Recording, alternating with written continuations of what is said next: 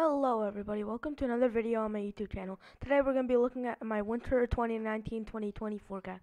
This is a preliminary forecast, which means that it's very far in advance. So don't take anything like it's set in stone or anything because this I'm going to probably make two or three of of, of these because it's just going to change so much because the models are going to change, everything's going to change. So I'm going to try to bring the most accurate data that I have, but this is what we have for now. Here's my temperature anomaly. So in this in this lighter blue shade, we have anywhere in this blue, it's slightly below average. So that's for much of the central United States and the eastern United States, even into parts of the west. But mainly for um for this darker blue shade is where you're gonna really feel the colder the cooler temperatures, and that's for much of the central United States and the northeast and parts of the mid-Atlantic. In this well well below average, um, in this purple we have well below average, and that's gonna that's gonna be the area where I think we could have some Arctic blasts come down from Canada and the polar areas, and it's just gonna come down like we did like last year, not as as intense though. I don't think it's going to be as intense as last year. Last year was insane.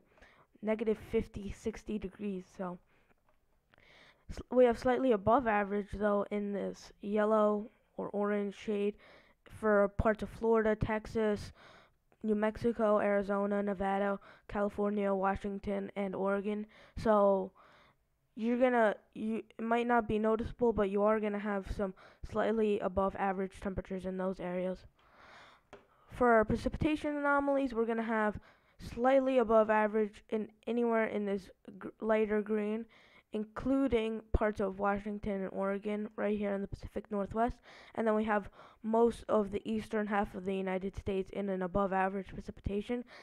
And then parts of the southeast is are going to see above average, and also part of the parts of the Great Lakes could see above average. So combine that with the cold, you can see some above average above average snowfall. So here's here's my snowfall forecast. Just because I think that it's going to be warmer, I'm calling for below average snowfall in these areas. Not going to be too noticeable, but you I think you will be below average. For the Rockies though, I think you're going to be slightly above average spanning all the way from Montana down to North Carolina and South Carolina, we're going to have a slightly above average. And then this darker shade of blue, we're going to have above average. That's where we could be 10 to 15 inches above average in these areas, depending on where you live. And then we have the well above average area for the interior northeast, parts of Ohio, most of Michigan, ha- the upper half um, of, of uh, Wisconsin, northeast Minnesota, and the UP of Michigan. That's where we could see significant snowfall totals way above your average. So now here's my overall winter forecast. We're gonna, this is where, this is like to recap the entire month. So on the side here, you have the little guide or something like, uh, yeah, so you have the guide on the side, and then you have the map here, and we see some coastal storms for the north for the in, for the coastal northeast and parts of the mid Atlantic. That's in this darker one, we're gonna see many coastal systems over here, but in this lighter one, we're gonna see some coastal systems. So you could see two or three in this lighter blue, but in the darker blue, you could see five or six throughout the entire winter. We're as we get closer, we can be more definitive more definitive, but this is what I'm going for for now.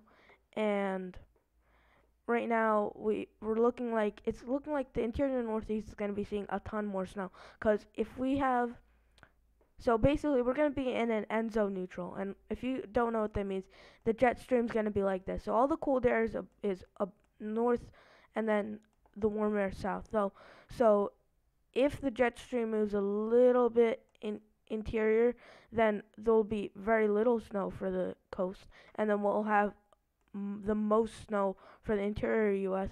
like we did last year. So that's why I'm calling for worst of winter there. And even if we do get a bunch of coastal systems, the interior northeast is still going to get a ton of snow from that. And plus, they have the lake effect snow. We have our winter battle zone over here. This is where I think you're mainly going to be seeing your um, wintry mix, ice, things like that. So it's not going to be a very pleasant winter if you're in this purple zone. If you're in this green zone, parts of the South, including South Carolina, Georgia, Alabama, Mississippi, Louisiana, and all of Florida, you're going to be seeing wet conditions because you're going to be on the south side of the storms, probably tracking like that. So that's why you're going to be seeing a ton of rain for those areas, way more than your average. And then we have the Arctic blasts over here. This is where I was saying we were going to have a bunch of Arctic, we're going to have some Arctic um, blasts coming in from the north, and it's going to be very cold and frigid for the for these areas. Then we have our warmer and drier for parts of the west. Well, actually, most of the west. So that's why we're calling for below average snowfall for the Sierra Mountains and then also for the Pacific Northwest. It's really only because we're going to be drier and we're also going to be warmer. But who knows? This could definitely change. So um, stay tuned. I'm probably going to be posting another one uh, probably in September. So I would recommend subscribing if you don't want to miss that. Anyways, that was me. I hope you enjoyed this, and goodbye.